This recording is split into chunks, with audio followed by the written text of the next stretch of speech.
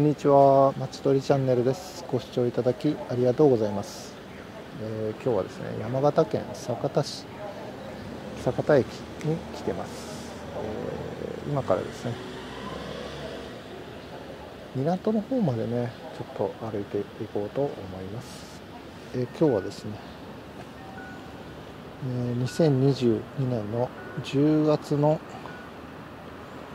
え16日日曜日ですね時間はですね午後12時10分。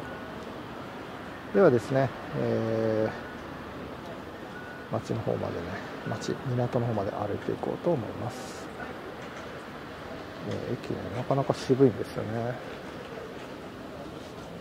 そして結構ひっきりなしにこうやってお客さんもっててルイツ線ってやつですね。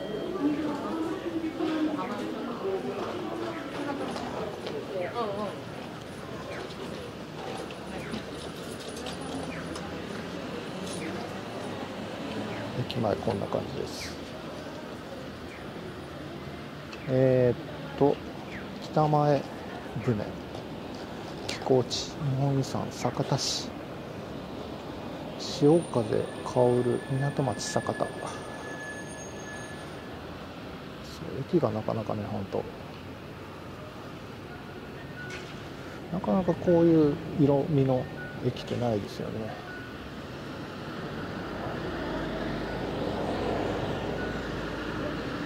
でお土産屋さんですかね。清川屋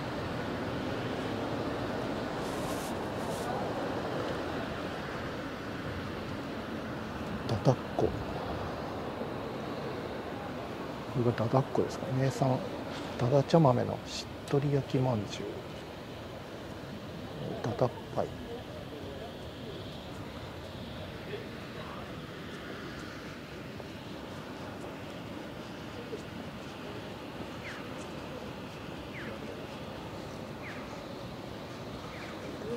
坂田道先案内図。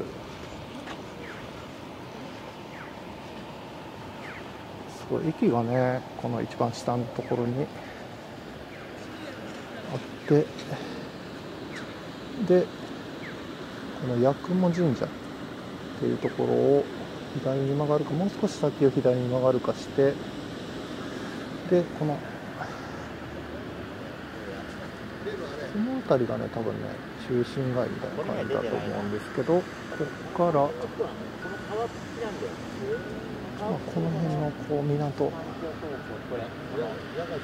海鮮市場、まあ、その辺まで行けたらいいなみたいなそういう感じで考えてますけどもちょっと途中で変更するかもしれないです。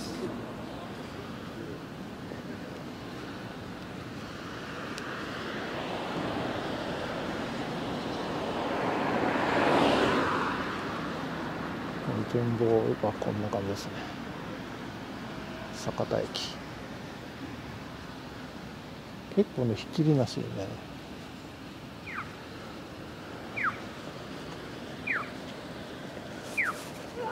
人が行き来してて。こ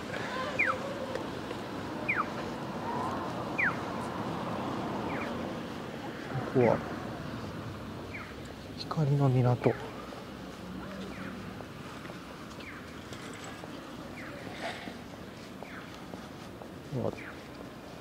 大正水産でいいでしょうか。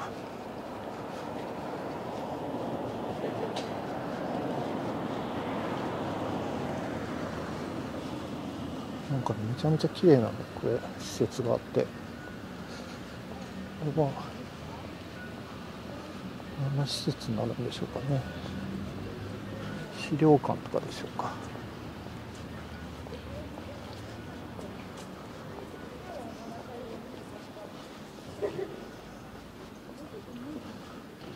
ここにはワンコインランチ準備中ですけどもスナックがあったりとかね。夜のふるさとスナック郷。あスナック郷です想郷と書いてユートピア。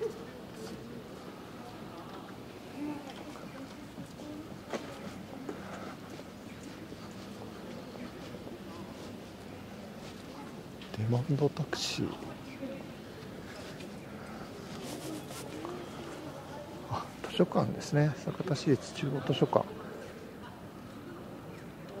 月のホテル。ホテルもあるんですね。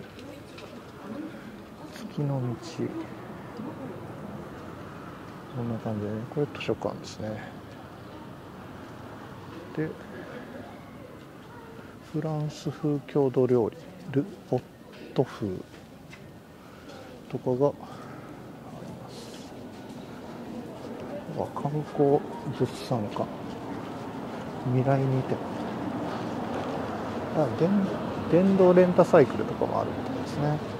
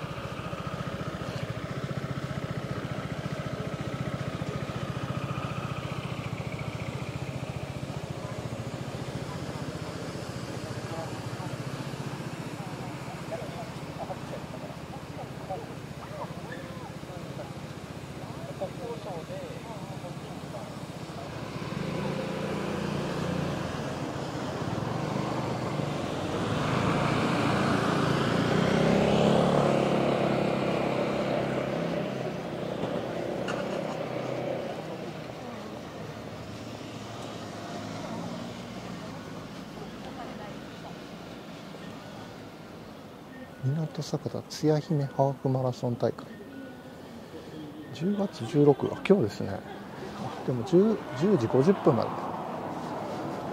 もう終わってましたね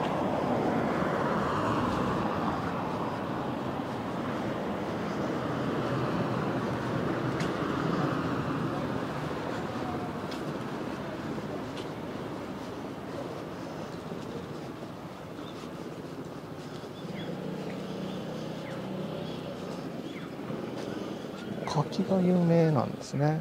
庄内柿。あと刈谷梨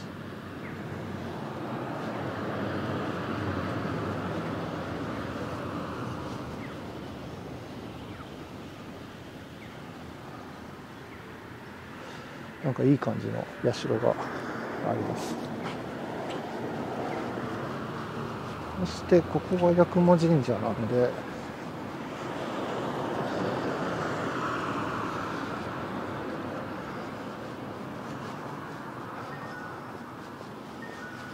こう左に曲がった方がいいのかもう少し先や先で左に曲がった方がいいのか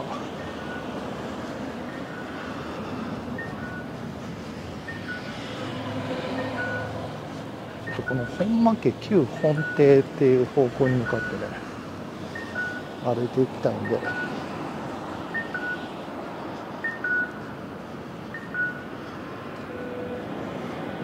ですね。890メートル結構ありますね。と左に行こうと思います。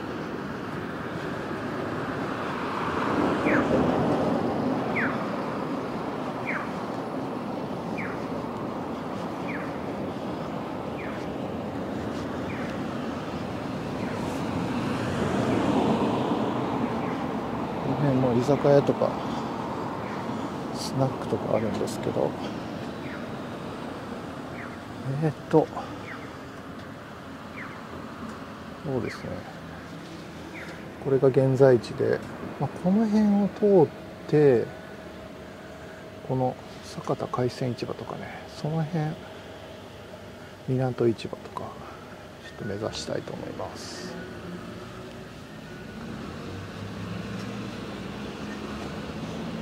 いいですねン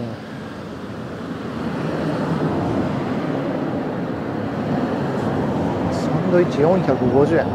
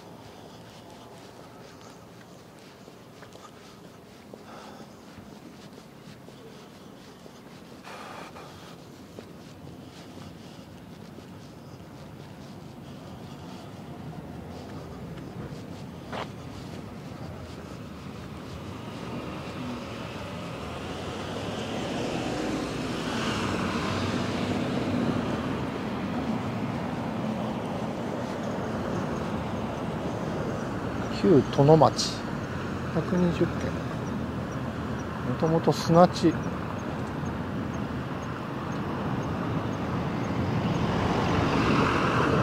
新地と称した。えー、新地。この辺まで海岸だったんですかね。砂地だったって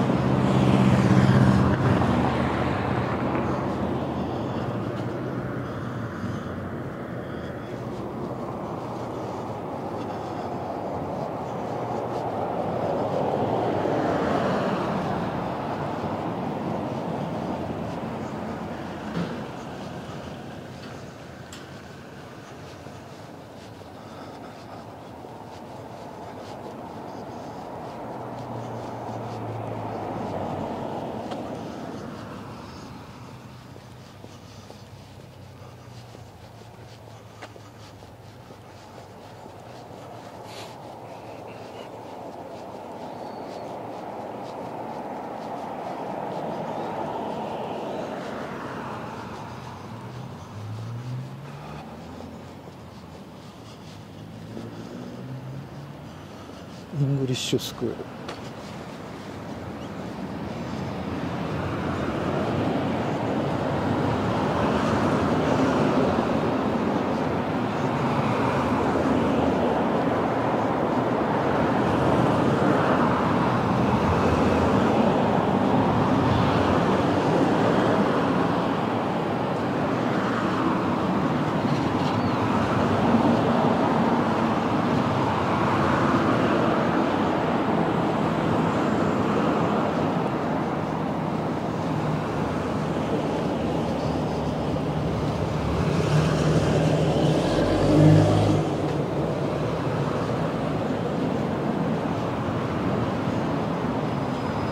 街灯が商商店街っぽい街灯ですね。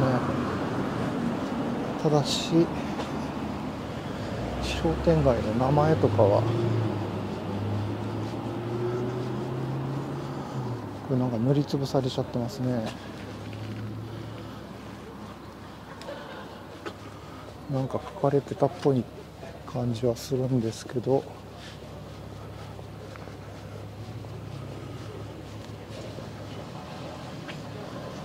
塗装された時に全部塗りつぶされたんじゃないかなと思うんですけど。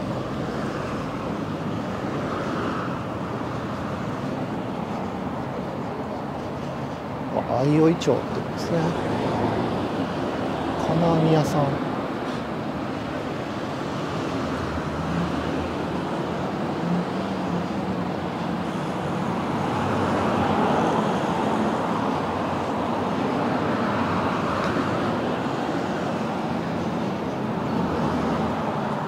か飲食店だったんですかね。洋服屋さん。なんかマネキン置いてるんで洋服屋さんかもしれない。あ鮮魚店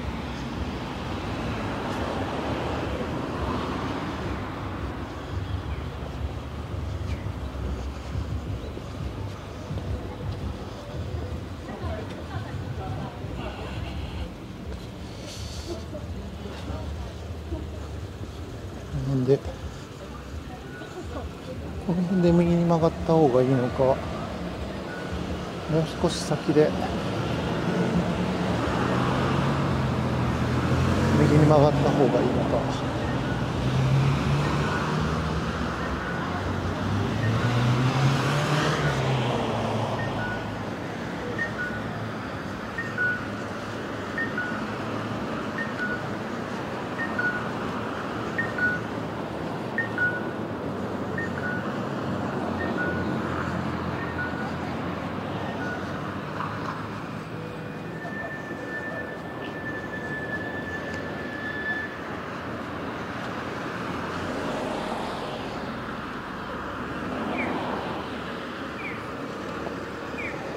この辺で渡っておきましょうかね。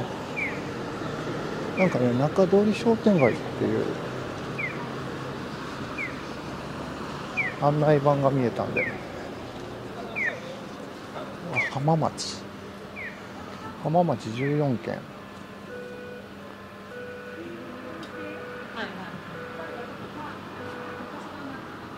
砂浜西浜の一部。もうこの辺は本当砂浜だったんですね。この辺の布団の池だ。そしてその隣が吉祥飯店。2階が吉祥飯店なんでしょうか。で下が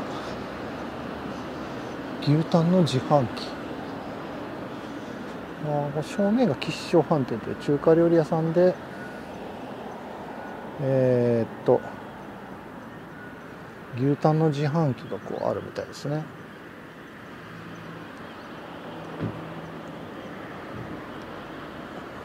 酒屋さんがあったり電気屋さんがあったり。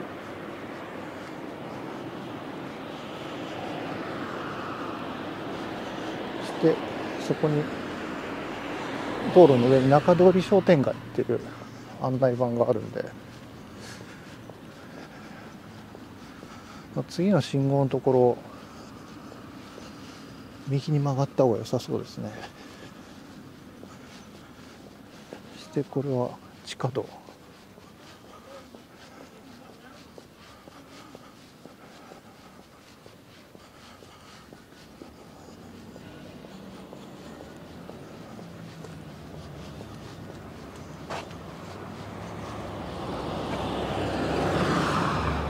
和菓子屋さんがあるんですねでその右側は一応神棚が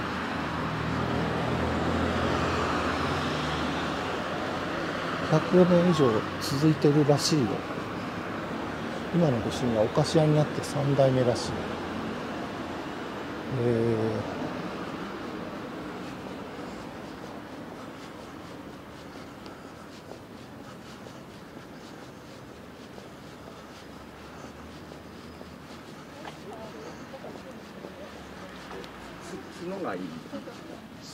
そしてあ商店街ですね。歩道に屋根のある。ちょっ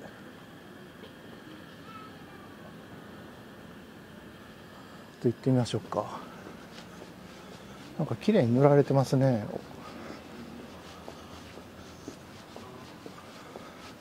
日曜日ですけど人はあまり歩いておらず。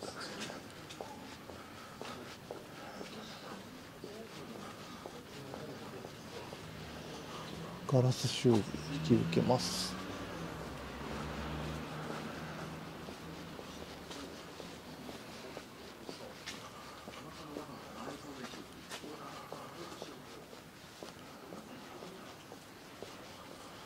テニスショップうわーなんかこのラケット。懐かしい。ウッドのラケットですね。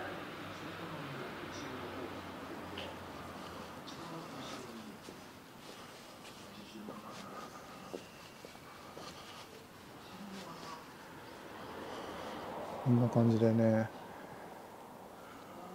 このオレンジ綺麗に塗り替えられてるんですけど。平日の方が人が多いんでしょうか。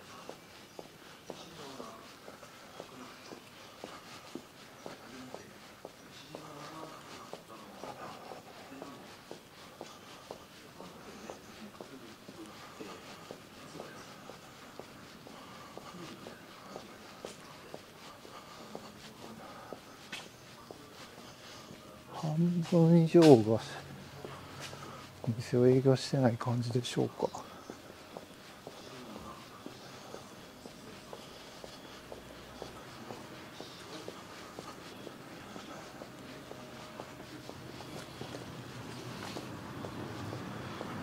なかなかね立派なマーケットがあるにもかかわらず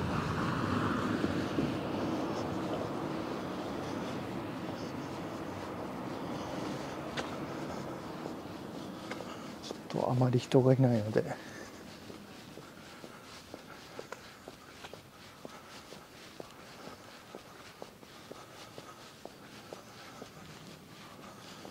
もったいないようにも思うんですけどこれは屋外ステージですかね。あちゃんとトイレが整備されてますね。そう商店街来るとねトイレに来る困る時があるんですよね。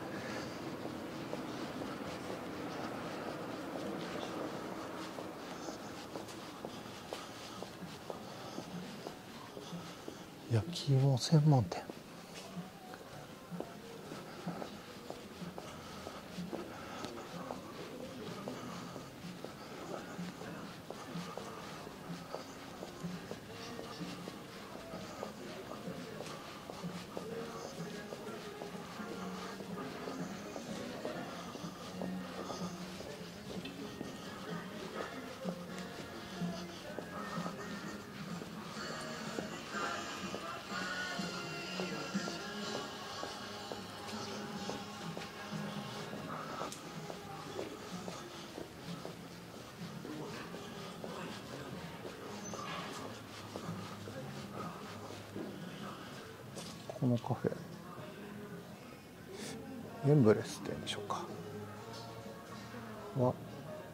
してますちゃんと。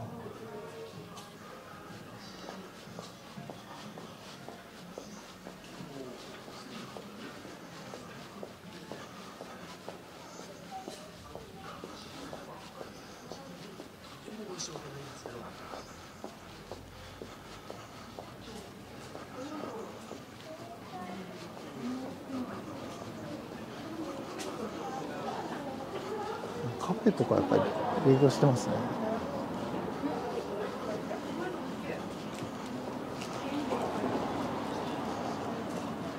こカフェジェラートのお店でしたねそこはベリーベリースープ。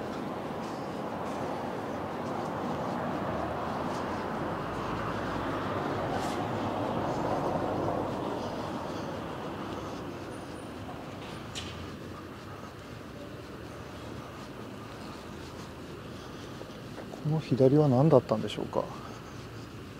ていうか今はもう営業今はもう営業してないですね。そしてその中華そばのお店は並んでる人がいるぐらい。三日月県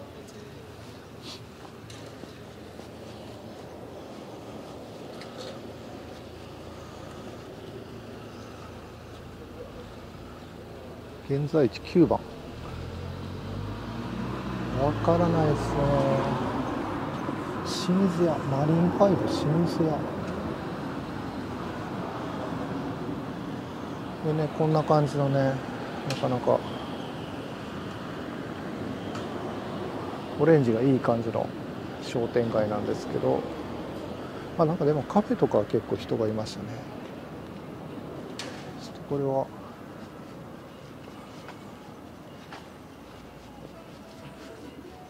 酒田酒田人は舌が肥えてるらしい。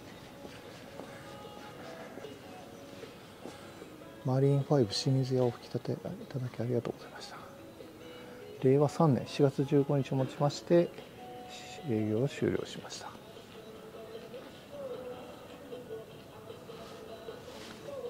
えこれなんか再利用決まってるんでしょうかね。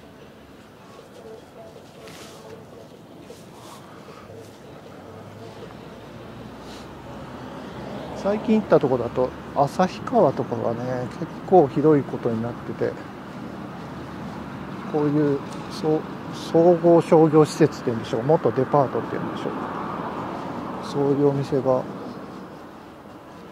閉店してでもそのままみたいな感じで。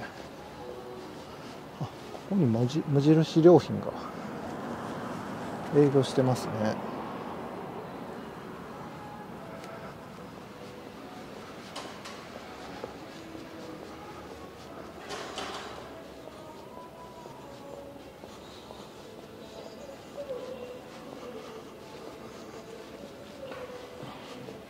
そして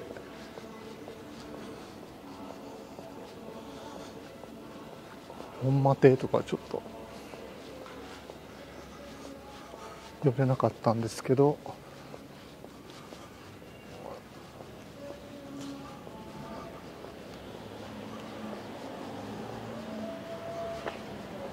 文具丸玉丸玉じゃないです。丸五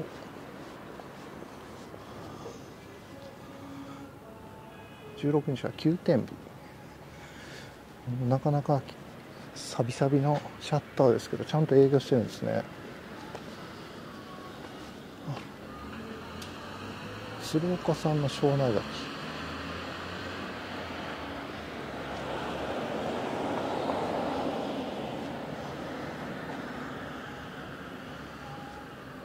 こは北前横丁っていう屋台村になってますね。酒田北前朝市。次は11月6日にフリーマーケットをやる。こっちの道を行った方がいいのかこっちの道を行った方がいいのかちょっと悩むんですけど。屋台村ですね。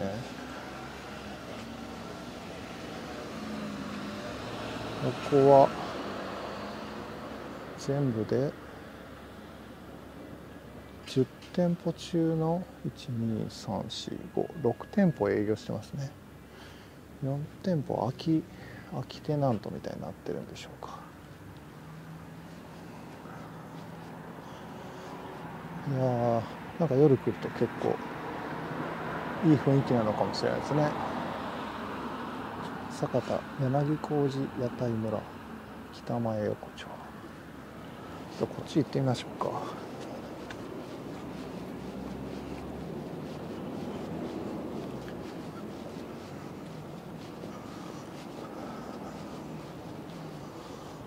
パブレストランロマン亭新型。コロナ対策。認証店。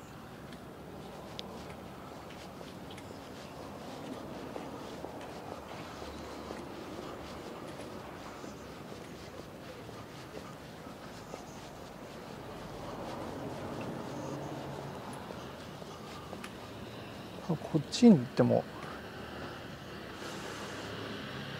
この酒田のラーメンちょっと気になりますけどそっちに行ってもあんまりロードサイド店が多いのかもしれないんでちょっとさっきの道を戻行きましょうかね。ここもシャッターが閉まってるお店が目立ちますね。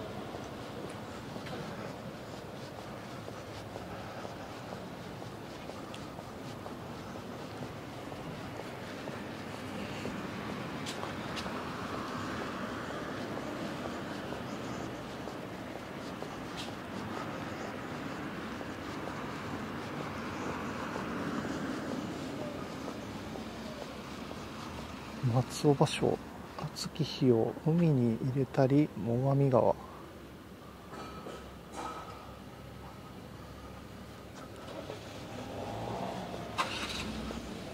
奥の村道でこの辺からずっと南下というか新潟の方に向かって進んでいたんですね。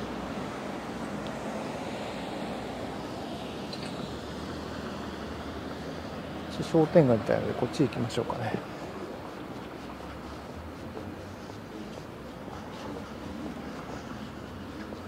結構ねいろんな場所を歩くと松尾芭蕉の足跡みたいな感じでいろんなところにこう句碑っていうんですかね。俳句の碑があったりするんですけど。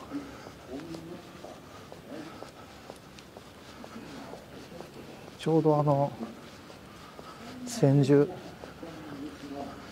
まああのスタート地点問題っていうのがあるらしいんですけど、まあ、スタート地点どこだったのかみたいなんでなんか川の手前が手前だとか奥だとか荒川でしたっけ？なんかそういうのを北千住のあの辺りで。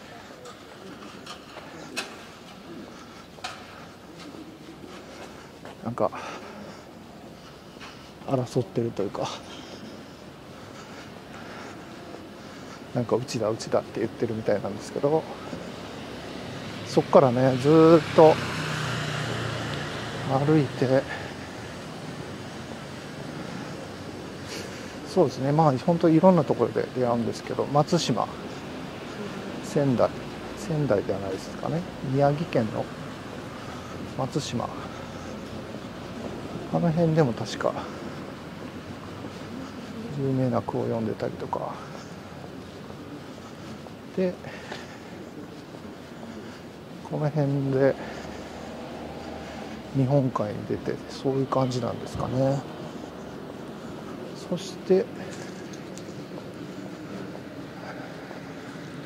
奥の細道の終着点と言えばいいんでしょうか。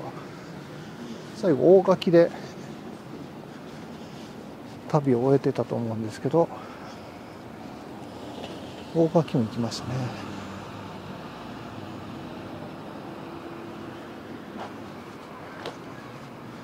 左行くのが良さそうなんでしょうか。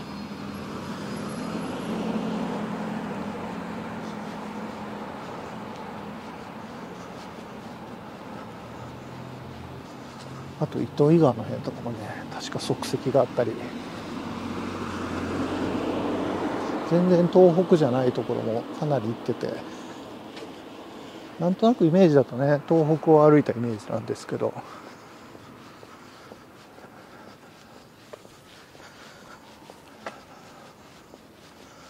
実際はね大垣まで行ってますからね。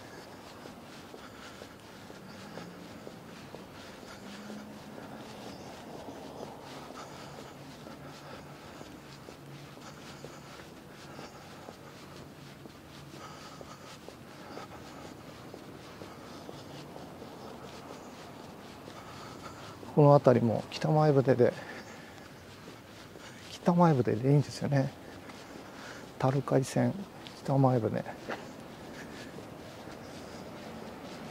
北前線じゃないですよね。北前船ですよね確か。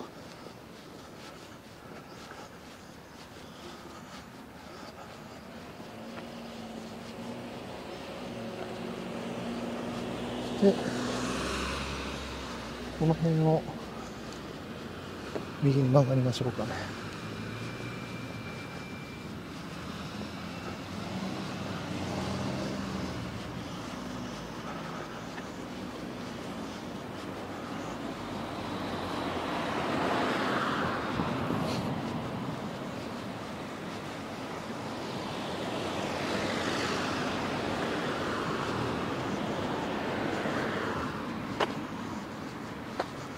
なんか奥の細道ってな気候エッセイみたいな。そういう感じもあるんで。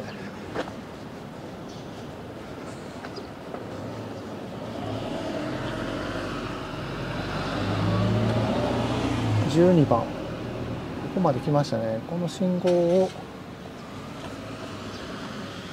左に行くとおりますね。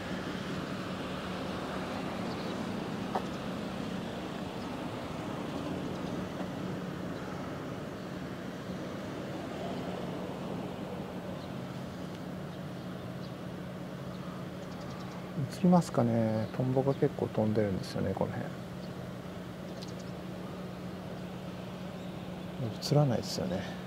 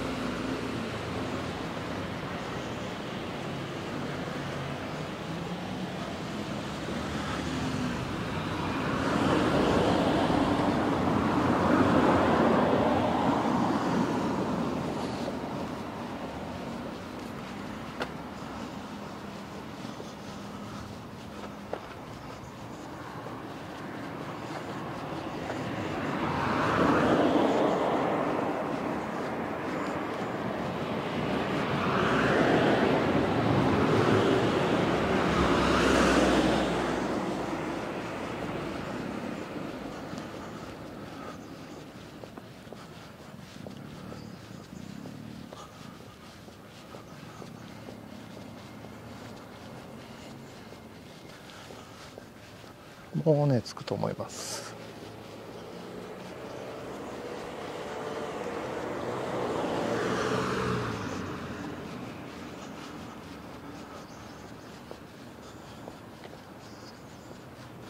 あと4分で出てますね。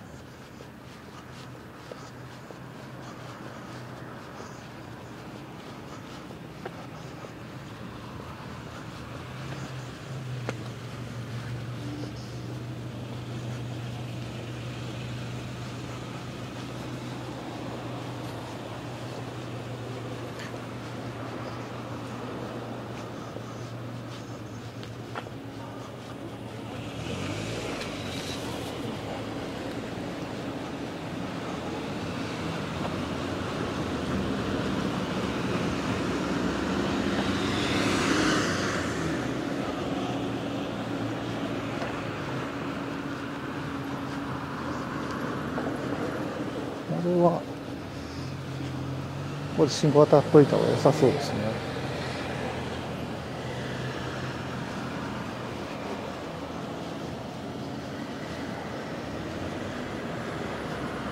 丸ごと酒田港。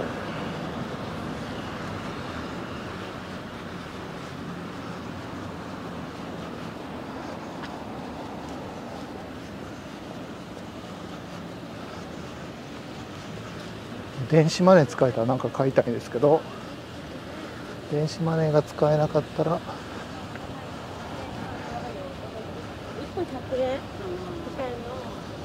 と諦めたいと思います。いやー失敗しましたね。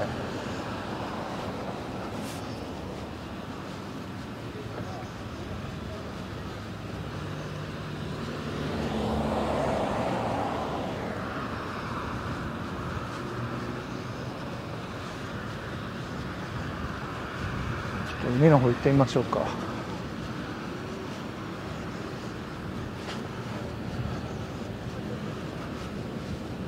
現金をこう持ってこなかったっていうね。やっちまった感ありますよね。これが酒田海鮮市場。市場でこの海洋センターがあって港市場。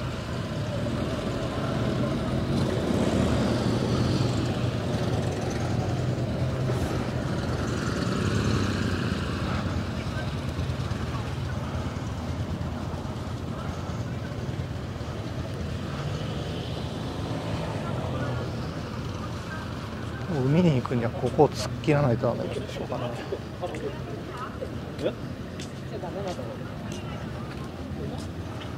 と突っ切らせてもらいましょうか。めっちゃ潮の香りがします。急に潮の香りがしますね。あ出ちゃダメなんだ。ああちでしたね。ちょっとあっち行ってみましょうか。ここは一回出た方が。こ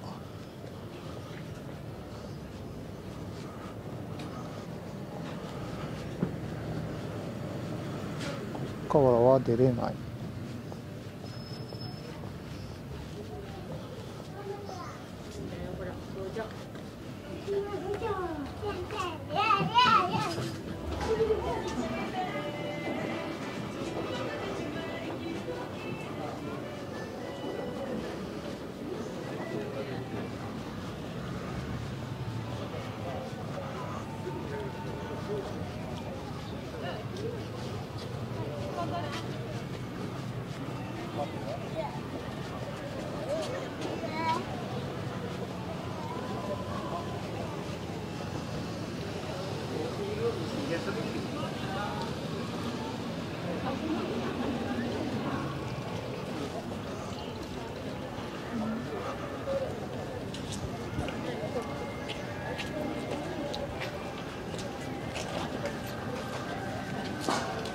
もういっぱいですかね。いっ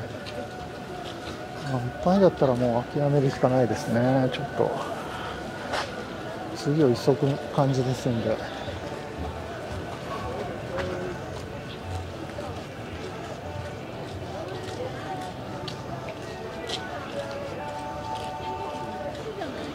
っちの2階か、そっち。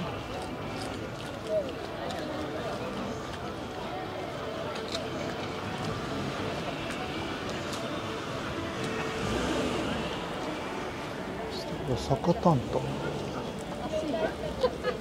なんかいろいろ食べれるところ。